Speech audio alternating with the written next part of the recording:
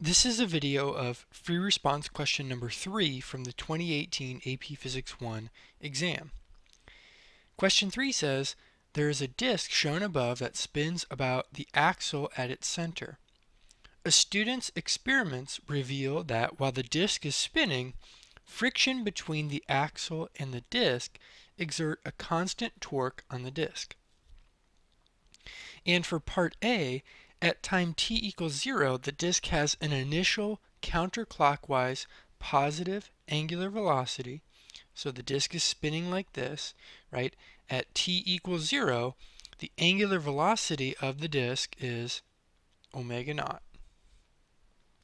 And under the influence of this constant torque that the disk experiences due to that frictional torque between the disk and the axle, the disk later comes to rest at a time t1, right? So at some time later, when t equals t1, the angular speed will be zero. The actual questions for part A are on the next couple of slides. All right, so once again, we have part A at time t equals 0. The disk has an initial counterclockwise positive angular velocity omega naught. The disk later comes to rest at a time t equals t1. On the grid at the left below, sketch a graph that could represent the disk's angular velocity as a function of time from t equals 0 until the disk comes to rest at time t equals t1.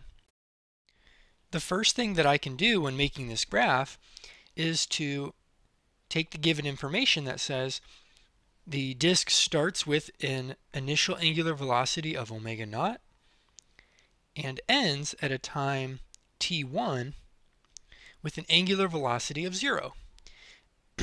Our problem here is how do we connect those two dots? Is it a curved line? Is it a straight line?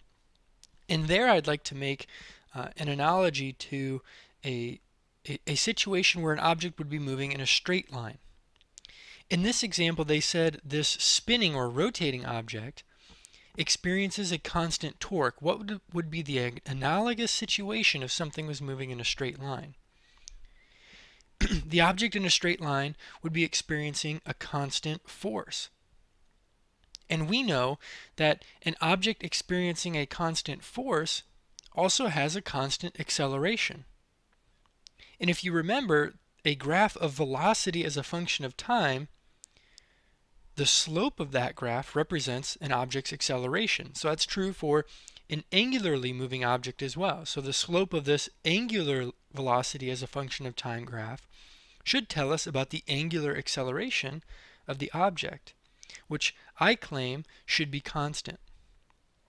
And so if the slope is constant between those two points, I simply should connect them with a straight line. So something like that. I don't think it needs to be perfect, but as long as you've made an effort to make that a straight line connecting those two points, starting at omega naught and ending at zero for the angular velocity, you should get full points for that graph. And now let's move on to A2. On the grid at the right below, sketch the disk's angular acceleration as a function of time from t equals t0 until the disk comes to rest at t equals t1. Now we just made an argument about the angular acceleration.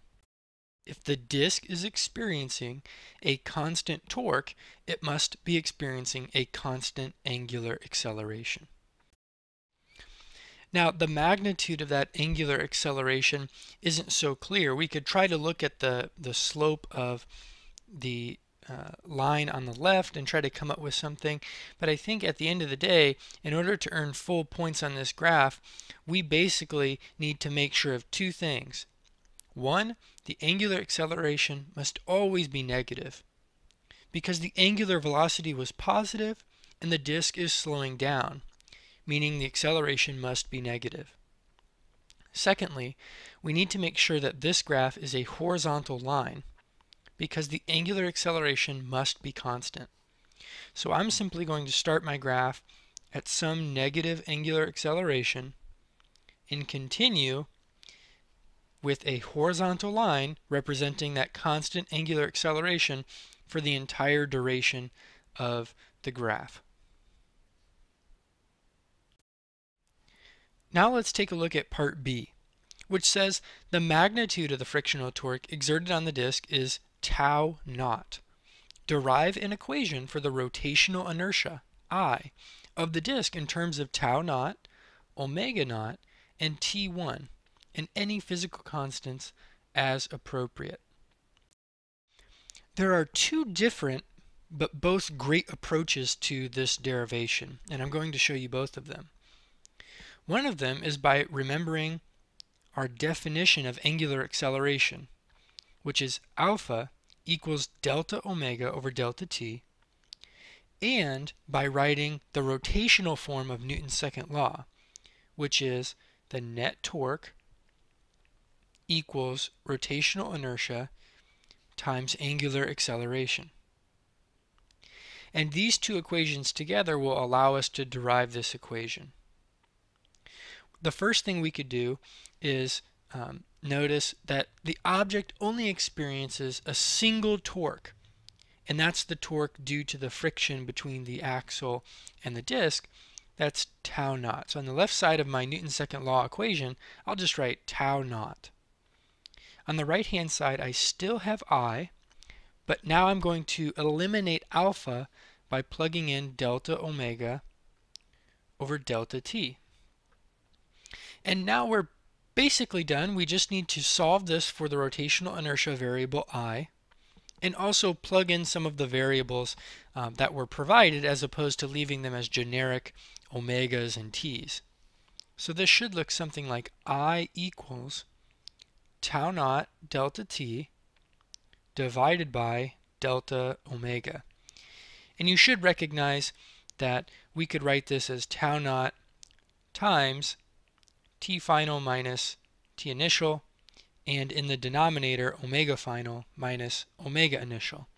And it's our job to recognize that the initial time is 0, the final time is t1. The initial angular speed is omega naught, and the final angular speed is 0. So what we end up with is I equals tau naught times T1 divided by omega. Uh, one point of discussion might be uh, whether this answer should be positive or negative. Well, because it's a rotational inertia value, the answer should be positive, but you might be wondering about the negative sign in the denominator. We have 0 minus omega naught, so surely there should be a minus in the denominator. But you need to remember that in the numerator, we have tau naught, which represents the frictional torque, or the torque that opposes the motion of the object. And if the motion of the object is in the positive direction, that torque is also negative, and so those negative signs should cancel, leaving us with a positive result for the rotational inertia. Now, uh, there's another way to go about this derivation that's no more difficult uh, and, and, and, not simpler either, but we do arrive at the same answer and, and there's a common way of going about it. So I'll also show that other way. Another way of doing this is to recognize that the equation for angular momentum is L equals I omega, and that when an object is experiencing a torque for a time interval delta t, it may undergo a change in angular momentum. Right? This is the equation for angular impulse. Delta L equals tau times delta t. And if we plug everything in, on the left-hand side, we can write um, L final, which would be you know, I final, omega final, minus L initial, which would be I initial, omega initial, equals tau naught times T1. And once again, we'll need to recognize that the final angular speed is zero and the initial angular speed is omega naught. The other thing we need to recognize on the left-hand side is that nothing about the mass distribution of the object is changing, and so the rotational inertia is a constant fixed value uh, regardless of the angular speed. So I could write this as 0 minus i times omega naught equals tau naught times t1. Um, and once again, I didn't plug in a negative value for that torque, but know that on the left and right sides of the equation, the negative torque and the negative in front of the I times omega naught term would cancel, leaving us with a positive value for I. And as I stated earlier, we end up with the same answer, tau naught times T1 divided by omega naught.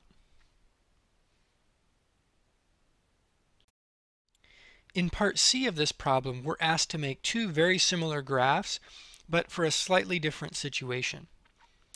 In another experiment, the disk again has an initial positive angular velocity omega naught at time t equals 0. At time t equals 1 half of t1, the student starts dripping oil on the contact surface between the axle and the disk to reduce the friction. As time passes, more and more oil reaches the contact surface, reducing the friction even further. And the rest of the directions simply say, you know, go and make those same couple of graphs that we made before. I think the, the best first thing that we could do is recognize that from t equals 0 until t equals 1 half, our graphs should be identical to what we did before because nothing changes until that 1 half uh, t1 time mark. So from omega naught until 1 half t1, for the angular velocity graph, I should have that constant slope going through half the graph like that. And for the angular acceleration graph, I should start at the same value as I did before and go to 1 half t1 without any change. And now the question is, how do the graphs change in the time interval from 1 half t1 until t1? Now, when the oil is added to the axle reducing the friction, please understand that by adding the oil, the, the disc does not speed up. It just slows down at a slower rate, right? It would take longer for it to slow down. And so for the angular velocity graph, at time t1, the disk would not come to rest. It would take a, a time that's greater than t1 in order for the disk to come to rest. We also know that in that time interval, the acceleration of the disk would be changing, right? Because as more and more oil gets on that contact, the rate at which it's slowing down would change. And so there needs to be a curved line from 1 half t1 until t1 for my velocity graph. And it needs to curve simply such that the disk does not reach zero angular velocity before a time t1. So something like this I think would be appropriate.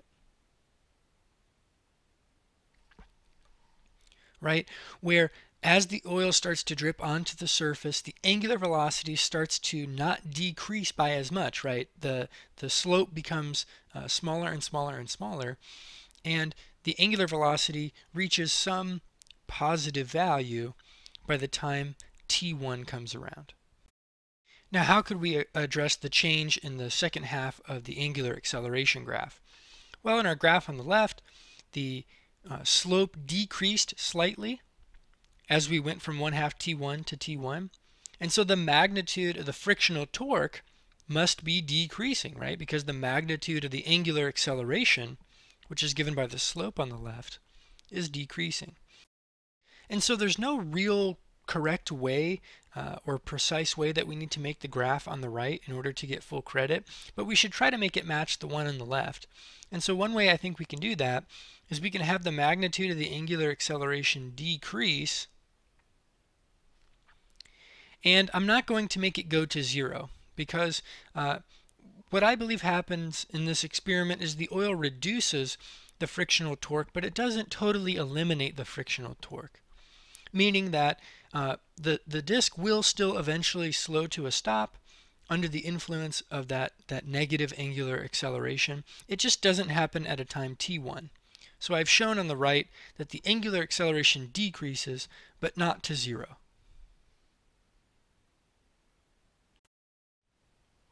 In the last part of this problem, part D, the student is trying to mathematically model the magnitude tau of the torque exerted by the axle on the disk when the oil is present.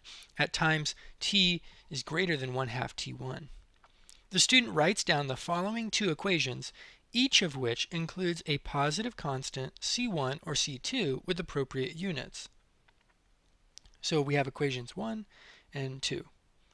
Which equation better mathematically models this experiment? So we need to pick one, either equation 1 or equation 2, and then briefly explain why the equation we selected is plausible and why the other equation is not plausible. And let's think about what does the torque need to be doing during this time interval from uh, at values greater than 1 half T1. We know that's when the student starts to drip the oil onto the contact surface there, and that causes the torque to be reduced, right, because there's less of a frictional torque. And so when T is greater than 1 half T1, what we want to happen is we want the torque to decrease. And so let's take a look at equation 2. What I notice about equation 2 is that as t increases, because it's in the numerator, as t increases, as t increases, because t is in the denominator, the torque, tau, will decrease. And that seems to be a fairly uh, good thing, right? The relationship that, that we suggested, that the frictional torque should decrease as a function of time, seems to be obeyed here in equation number two. Now let's take a look at equation number one. In equation number one, it seems like as t increases, the torque would also increase. So as t increases, the torque would also increase. Now, recognize that T1 here is a fixed value, right? And this is also correct for equation number two. T1 is a, a fixed value, but T is the changing variable where if we want to, to discover a, a mathematical relationship between the time and the torque, we need to be looking at T. And so I think uh, even though we have those added or subtracted terms, the best way to determine which equation is best is to look at the relationship between t and tau, which is what we've done. And so based on the relationships that I see, it looks like equation number two would be best. Now, in my brief explanation down below, right, I need to come up with a brief explanation. What I would do is simply write there that I picked equation 2 because tau decreases as a function of time. And in equation number 1, it doesn't do that. In fact, as time goes on, the torque increases in number 1, and that is not consistent with the fact that the oil being added to the contact surface would reduce the friction and therefore reduce the frictional torque between the axle and the disc. And so while equation 2 is plausible, equation 1 is not plausible. So I think equation 2 is a better mathematical model for uh, trying to uh, create a model for the torque exerted by the axle on the disk.